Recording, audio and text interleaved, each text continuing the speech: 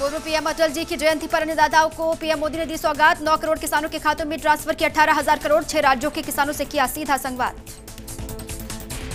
वही केंद्रीय गृह मंत्री अमित शाह ने किसानों को संबोधित करते हुए कहा कि एमएसपी बंद नहीं होगी, विपक्ष कोरा झूठ फैला रहा है। इस दरमियान शाह ने राहुल गांधी समेत विपक्ष पर निशाना साधा।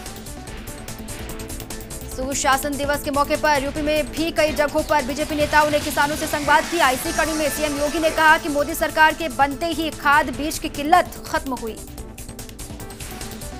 सिंघू बॉर्डर पर प्रदर्शनकारियों ने किसान सम्मान निधि को नकारा, फिर दोहराई कानून वापस लेने की मांग। तो हरियाणा के जिंद में प्रदर्शनकारियों ने टोल प्लाजा फ्री करवाया। लुधियाना में भी पेट्रोल पंप को घेरा। किसान आंदोलन को लेकर अमेरिका के साथ प्रभावशाली सांसदों ने अमेरिकी विदेश मंत्री माइक पॉम्पियो को लिखा पत्र। पॉम्पियो से किसानों के विरोध प्रदर्शन का मुद्दा भारत सरकार के सामने उठाने की अपील की।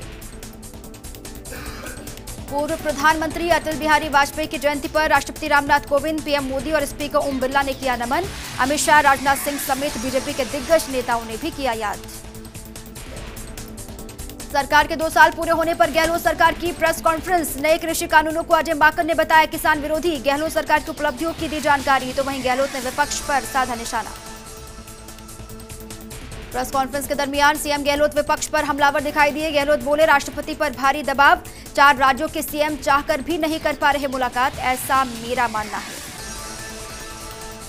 ब्रिटेन के यात्रियों की सूची से राजस्थान में खलबली चिकित्सा विभाग ने सभी जिला कलेक्टर को जारी किया अलर्ट। 23 और 24 दिसंबर को यूके से आए 811 लोगों की सूची में सर्वाधिक 333 यात्री जयपुर के हुए चिन्हित।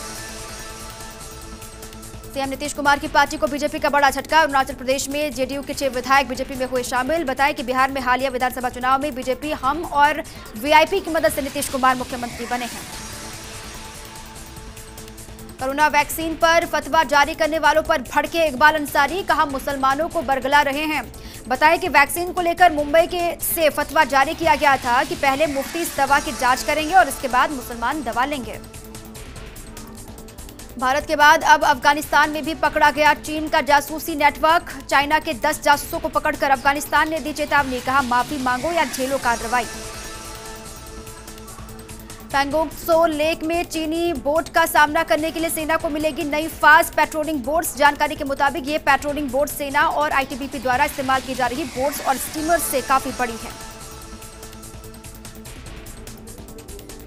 पिजर की वैक्सीन के लिए बुरी खबर, चीफ साइंटिफिक एडवाइजर बोले, एलर्जिक रिएक्शन की बहुत ज़्यादा उम्मीद। वैक्सीन के एलर्जिक रिएक्शन में चकते पड़ना, ब्लड प्रेशर का तेज़ी से कम होना, सांस लेने में दिक्कत और धड़कन का बढ़ जाना सामने आया है।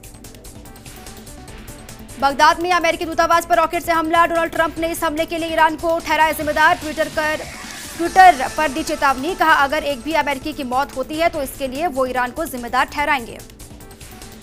जयप्रकाश निषाद का तंज, किसान आंदोलन कांग्रेस की चाल। स्वामीनाथन आयोग की रिपोर्ट को 70 साल दबाकर रखा गया। निषाद ने कहा इसराइल में जिस तरह किसानों का विकास हो रहा है, उसी नीति पर सरकार किसानों को दोगुनी आय देने की नीति बना रही है। नेपाल के राजनीतिक संकट के बीच भारत आएँगे पीएम केपी ओली। भारत नेपाल के रिश्तों को मजबूती देने के लिए ओली आएँगे भारत। मुजफ्फरनगर दंगा के को लेकर मायावती ने ट्वीट कर कहा, यूपी में बीजेपी के लोगों के ऊपर राजनीतिक द्वेष की भावना से दर्ज मुकदमे वापस होने के साथ ही सभी विपक्षी पार्टियों के भी मुकदमे वापस होने चाहिए। देश में पिछले 24 घंटे में कोरोना के करीब बाईस नए मरीज़ सामने आए, जबकि 330 मरीजों ने कोरोना के चलते दम तोड़ दिया है। उदयपुर में दिल को झकझोर देने वाली वारदात, पत्नी और अपने चार बच्चों को मारने के बाद खुद फंदे से झूला व्यक्ति खेड़वाड़ा क्षेत्र के रूबिया गाँव की घटना। सुपरस्टार रजनीकांत की तबीयत नासाज, हैदराबाद के अपोलो हॉस्पिटल में करवाया गया एडमिट ब्लड प्रेशर से संबंधित परेशानी को लेकर इलाज जारी। प्रधानमंत्री मोदी लोकप्रिय नेताओं में सबसे आगे, सक्रियता में भी आगे। भारतीय ट्विटर चार्ट में मोदी के नंबर वन होने का किया गया है दावा। तो वहीं बॉलीवुड कैटेगरी में सोशल मीडिया पर सोनू सूद नंबर वन पर हैं। Social media analytics firm tweet के मुताबिक सोनू सूद का एंगेजमेंट नंबर महीने में तेरह लाख चौरासी हज़ार तीन सौ तिरपन रहा है। ऑस्ट्रेलिया के खिलाफ दूसरे टेस्ट मैच के लिए बीसीसीआई ने किया प्लेइंग इलेवन का ऐलान। शुभमन गिल और मोहम्मद सिराज का डेब्यू विराट कोहली की गैर मौजूदगी में अजिंक्य रहाणे संभालेंगे कप्तानी।